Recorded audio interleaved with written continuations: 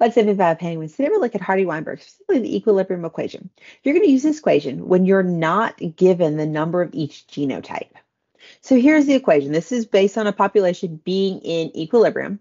We have p squared plus 2pq plus q squared equals 1, and then p plus q equals 1. Um, Ms. Jones, I don't know what those mean. That's okay. So Traditionally, we think of P being our dominant allele, so the frequency of that dominant allele. The actual formula sheet says frequency of allele 1, um, but traditionally when you look at it with your classroom, you probably see it as the dominant allele. And then Q is going to be the frequency of my second allele or my uh, frequency of my recessive allele. Okay, now again, notice that the P is a single, it's just one P, and it's just one Q.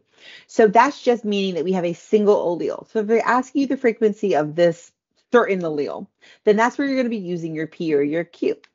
But when we're talking about individuals and we're talking about different um, phenotypes they might have, or if we talk about their genotype, we're looking at not just one, but two different alleles. So we're going to use the second equation where we have that p squared, the 2pq, and the q squared, because each of those are going to denote something that is diploid, something that has two alleles. So p squared is my frequency of homozygous for allele 1, or I always say frequency of the homozygous dominant.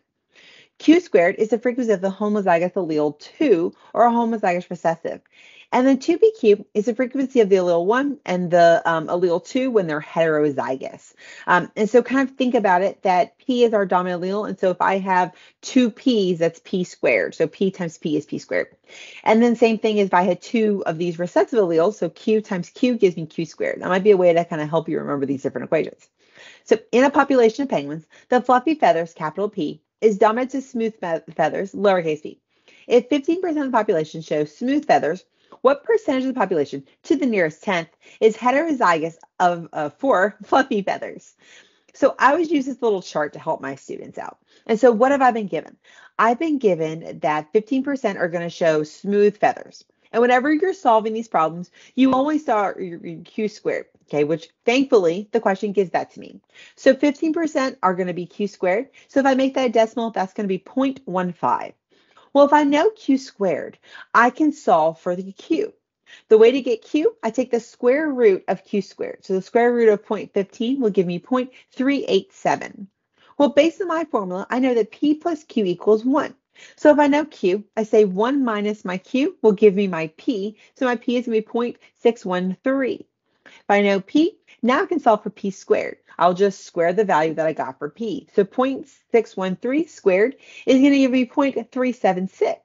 And then in order to find 2 times p times q, I say 2 times my p, which is 0.613, times my q, which is 3.87, um, and that gives me 0.474. Now it tells me to give this in my percentage, so that would be 47.4%. So if you could pause the video, you could try this yourself. In a population of trogons, a type of bird, tail banding, capital B, is dominant to no tail banding, lowercase b.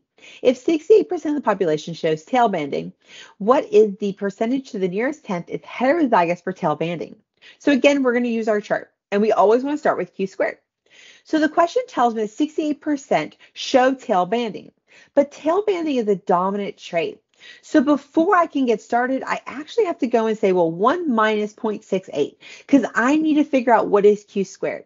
The reason I have to start out this way is because if I'm given the dominant trait, that dominant trait can either be homozygous dominant or it can be heterozygous. So in order for me to do this calculation, I have to actually start with that q squared. So my q squared is 0.32. Once I know my q squared, I can find my q, take the square root of 0.32, giving me 0.566. Once I know q, I can solve for p because p plus q equals 1. So 1 minus the 0.566 gives me my 0.434. Once I have p, I can solve for p squared. So I say 0.434 squared gives me my p squared, which is 0.188. And then to solve for 2pq, I multiply 2 times p times q, which is 2 times the 4.34 times the 0.566, which gives me 0.491. And then it tells me that I need to figure out what is the uh, percentage that are heterozygous, and that's going to be 49.1% because I multiplied this um, decimal times 100.